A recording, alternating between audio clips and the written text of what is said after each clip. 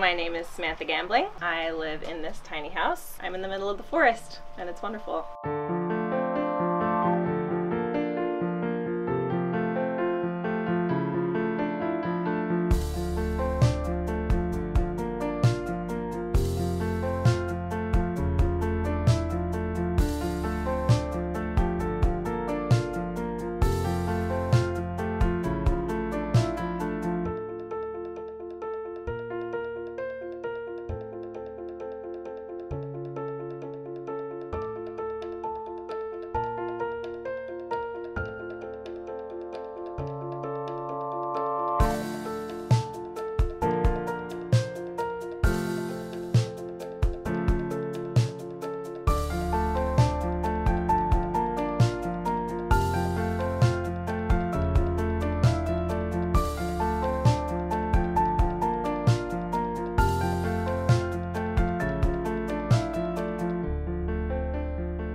Deck that I built this summer and built a roof for it. Still trying to figure out uh, how how to keep it dry um, because there's a lot of condensation because it's so wet here. So it's a work in progress, but I'm very proud of my building project because I do not build things.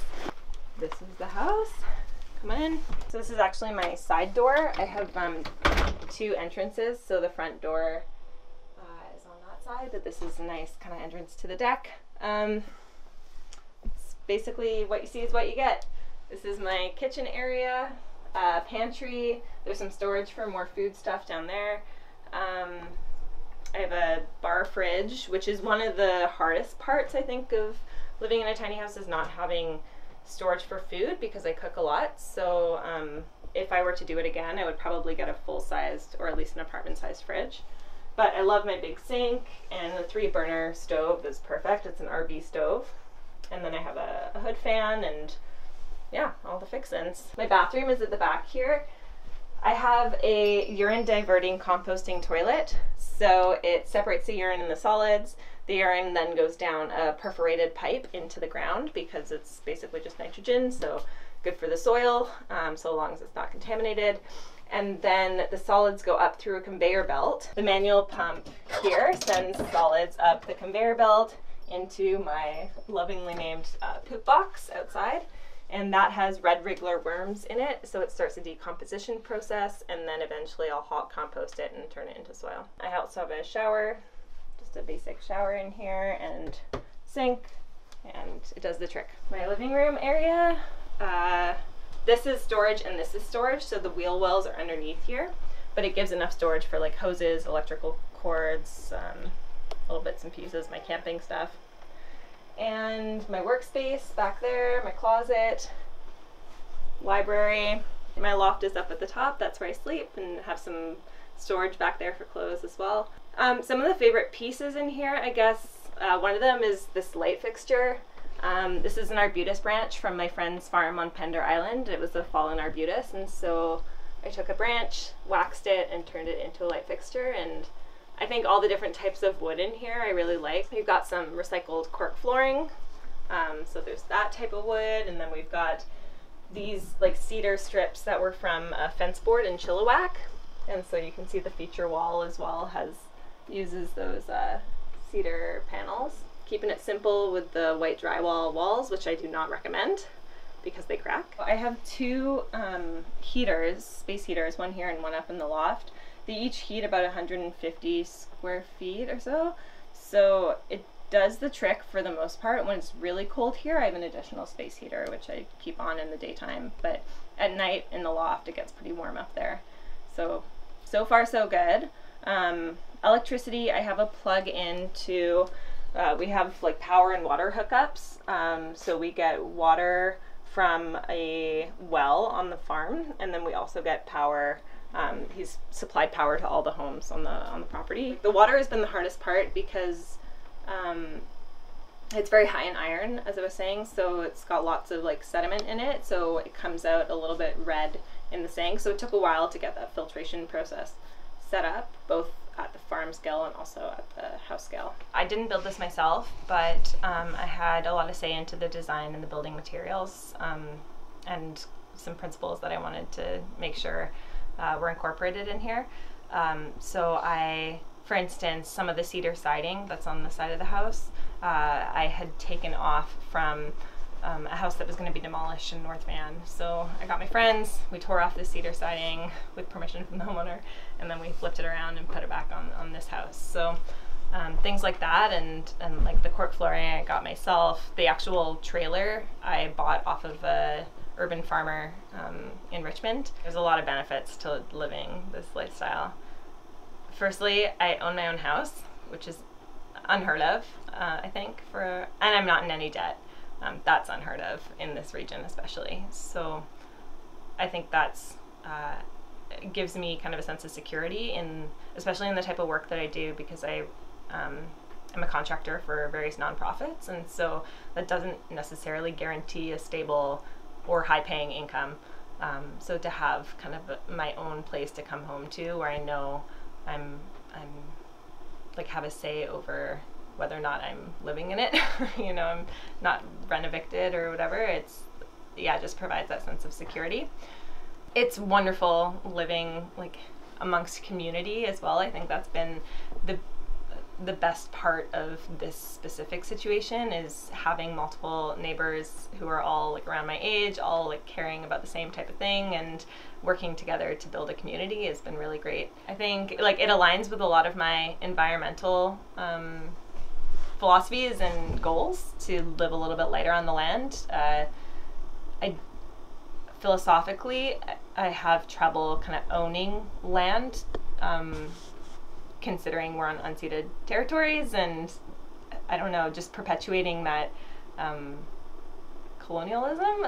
I'm, I'm sure this is perpetuating it in a way as well, but uh, being a little bit more mindful as to my relationship with the land, um, both in terms of like uh, yeah, how I'm living on it. I have to be very careful about, you know, what I put down my sink because I know that it's going just right over there through a gray water filtration system that I made.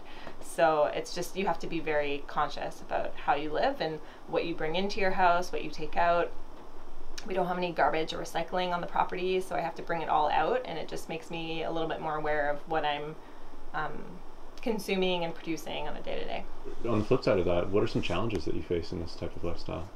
I think the biggest challenge um, is both a challenge and a blessing is location, because I'm I work in the Vancouver area and that's my community. So, uh, or that was my community, anyways, and it's hard to I guess adapt to not being able to bike around wherever I want, whenever I want, like go to yoga, just take 15 minutes out of my day, and like now it's an hour. Uh, venture for me to like go anywhere and do anything. So that's been the hardest part is location. It's also been the most amazing part because I'm in the middle of the forest and there's so many other lessons there.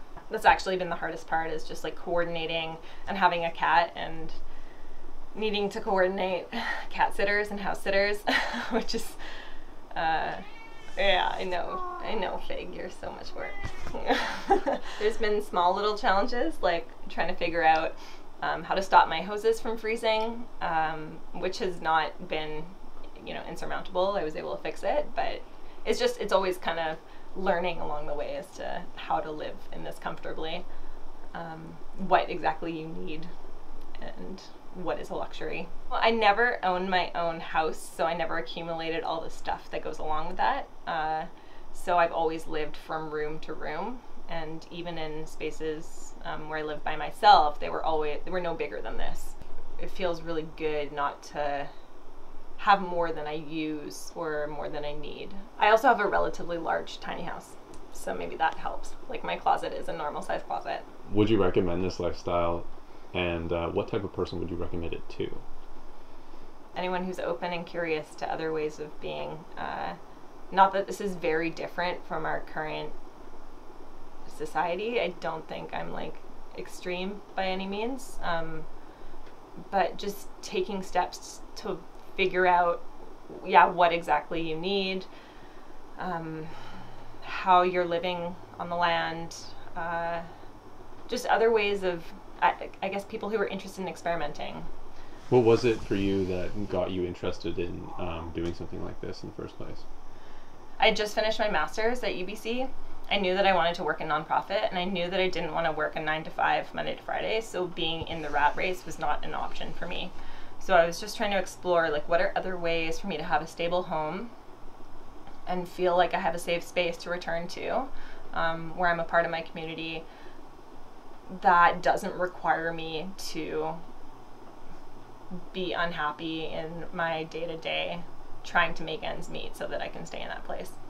So I was originally looking at a laneway home in Vancouver, but because that wasn't possible, I think I just started looking at documentaries. I watched We the Tiny House People, which really just like, yeah, connected with me because it was like, I want to live a little bit more off grid. Ideally, what I wanted originally was to have um, a, a, water collection and uh, filtration system as part of my house so that I could be completely off grid, solar panels. But that whole setup is super expensive, so that's kind of a, a next step. But yeah, I just saw it as a way to have a little bit more say as to how I lived and uh, enabled me to have space to explore other things that I'm interested in rather than just work. What would you say to somebody that's maybe watched a couple videos about tiny houses or maybe watched the documentary you watched mm. and is thinking about doing this themselves? What would you say to that person? Find a space before you build it. that was where I went wrong. Um, which was great in a way because it really motivated me to engage and advocate for tiny house legalization because I had a really big thing at stake. Um, but for someone who doesn't want to start a nonprofit, uh, I think that having the space beforehand, um, and then you can also kind of design your house around that space.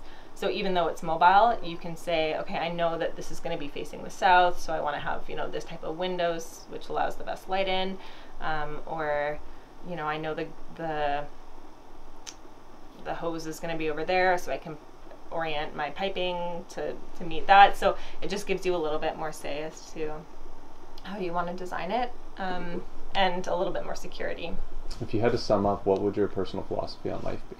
I, I have a, a bit of a spiritual practice where I'm trying to remind myself to relax, um, to um, be curious and be kind, which are like the three principles that Tara Brach talks about. and I really love her. It's all about like exploring what suits you best and what fulfills you, right? So f- for me, finding this space where uh, it would enable me, it would give me time and um, security to explore like a deeper connection to my community, to the land, to myself.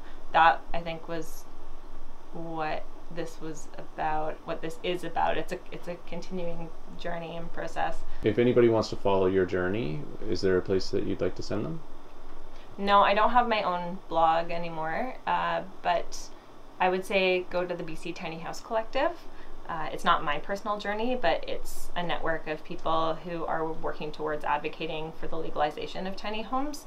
Um, and I think there's a lot of work that needs to be done. And so, if you're interested in being a leader in um, normalizing and legalizing this type of lifestyle and housing stock, then I'd be keen to connect. Hey everyone, thanks for watching. Make sure to like this video and hit that subscribe and ring that bell button.